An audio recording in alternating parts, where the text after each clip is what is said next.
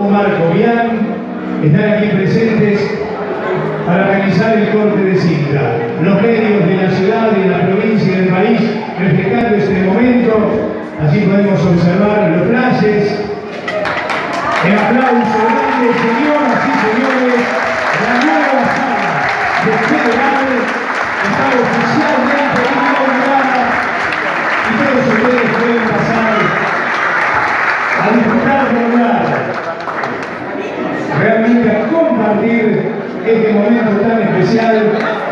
Están invitados, pueden pasar en este momento.